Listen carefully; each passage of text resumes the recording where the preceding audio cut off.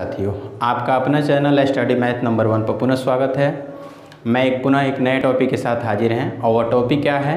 चलिए करके आपको दिखाते हैं तो आपको समझ में आया जाएगा कि वो टॉपिक क्या है। वो टॉपिक है कि कोण, एक क्लास पाँच का ये टॉपिक है कि कोण किसे कहते हैं और कोण कितने प्रकार के होते हैं। दोनों चीज़ बताएँगे कि कोण किसे कहते हैं और कोण कितने प्रकार के होते हैं। वीडियो को अंत तक देखिए ताकि आपको जानकारी मिल सके। चलिए वीडियो स्टार्ट करते हैं।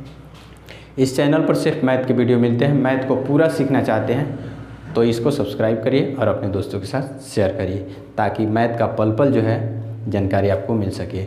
इस चैनल के माध्यम से पूरे इंडिया के लोगों को मैथ सिखाने का ये पूरा जो है, ये लक्ष्य रखा गया है, ताकि जो है सारे लोगों को इसकी जानकारी मिल सके। चलिए, वीडियो स्टार्ट करते हैं। कोण किसे कहते हैं। कोण किसे कहते हैं? इसका आंसर देखिए, आपको समझ में आ जाएगा। जब दो किरणें एक बिंदु पर मिलती है तो उसके बीच जो झुकाव जो झुकाव बनता है।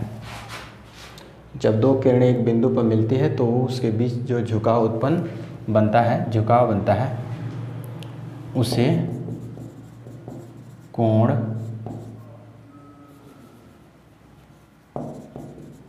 उसे कोण कहा जाता है। ये आपका कोण का आंसर हो गया। फिगर इसका देखिए।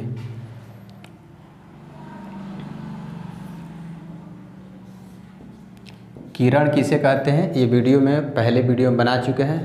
इस प्ले ये आ, जब इस चैनल पर आप आइएगा तो इस चैनल में देखिएगा सब सर्च करिएगा। कि कोण किरण किसे कहते हैं तो मिल जाएगा। किरण पर, रेखा पर और रेखाखंड पर पहले जो है, मैं वीडियो अपलोड कर चुका हूँ। ये आपका, यहाँ पे बिंदु है।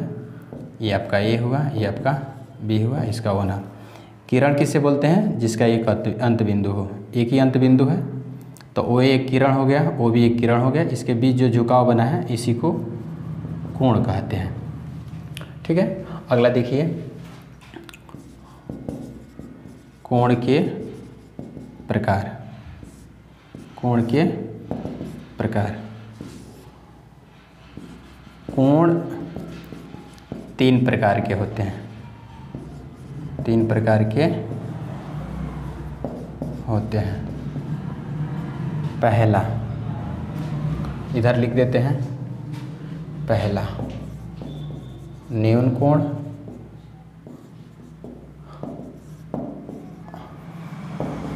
समकोण और तीसरा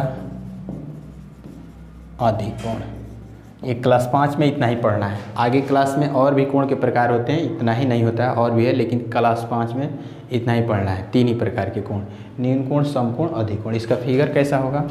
आइए फिगर देख लीजिए। न्यून कोण का फिगर ऐसे होता है, समकोण का फिगर ऐसे होता है। ये बिल्कुल सीधा होता है। और अधिक कोण का फिगर ऐसे होता है। इस तरीक़ा से। तो आप जो है, तीनों कोण का जो है मैंने, ये पहला का हो जाएगा, ये आपका दूसरा का, ये आपका तीसरा का।